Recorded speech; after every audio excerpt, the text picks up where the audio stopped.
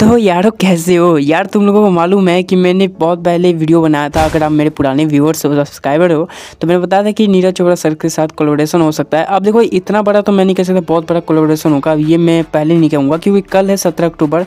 कल को पता लग जाएगा कि नीरज चोपड़ा सर के साथ कोलोब्रेशन हो। देखो, यहाँ, जहाँ तक मेरे को मालूम है, नीरज चोपड़ा सर जी के साथ ही कोलोब्रेशन होने वाला है। अब देखो यार, एक एक होता है कि पार्ट टाइम के लिए कोलोब्रेशन होता है, ठीक है? लाइफ टाइम के लिए कोलोब्रेशन होता है।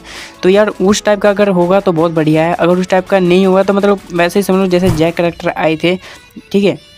ठीक उसी तरह से हो सकता है, उनका भी कोलोब्रेशन हो, ठीक है? छोटे मोटे कोलोब्रेशन हो सकता है, ऐसा भी हो सकता है, लेकिन अगर अगर एकदम पार्ट टाइम के लिए नहीं लाइफ टाइम तक लिए कोलोब्रेशन होगा, बिल्कुल आलोक की तरह तो भाई समझ जाओ कि ये करेक्टर काफ़ी फाड़ू होने वाला है। और वैसे भी यार, गर्व की बात तो ये है कि अपने Indian character Neeraj Chopra sir होने वाले तो इससे बढ़कर क्या हो सकता है यार, ठीक है?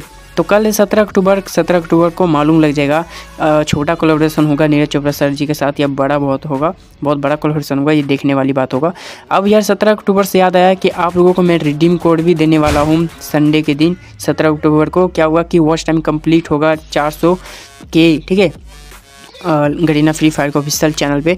तो वहाँ पर मुझे रिडीम जैसे ही मिलेगा, मैं अपने वीडियो में डालूँगा अपने चैनल पे, ठीक है? सत्रह अक्टूबर को ही। बस आपको कुछ ज़्यादा नहीं करना, आप चैनल को सब्सक्राइब करके बेल आइकन प्रेस कर लेना और इस वीडियो को शेयर ज़रूर करना, ठीक है? तो इससे क्या होगा कि मैं आप तक जैसे वीडियो डालूँगा तो आपको रिडीम कोड मिल जाएगा उस वीडियो में, ठीक है? और आप उसको कॉपी करके सीधा जाके रिडीम कर पाओगे फ्री फायर के पेज पे, ठीक है? तो यही चीज़ यार मैं आपको बताना चाहता था, कल है संडे और सत्रह अक्टूबर है, ध्यान रखना। तो आशा करता हूँ तुम मेरी बात को समझ गए होंगे। और बाकी यार, सत्रह अक्टूबर ग्रैंड फाइनल के टाइम में पता लग जाएगा कि नीरज चोपड़ा सर के सर जी के साथ कोलोब्रेशन हो रहा है या नहीं। क्या वो बहुत बड़ा कोलोब्रेशन होगा या छोटा मोटा कोलोब्रेशन होगा, वो देखने वाली बात है। चलो, मिलते हैं कोने वीडियो में। Bye bye